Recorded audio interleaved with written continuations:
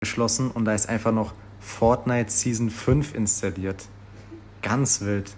Nee, warte, das ist gar nicht Season 5, das ist Season 8, oder? Diese Piratending. Das ist Season 8, Leute.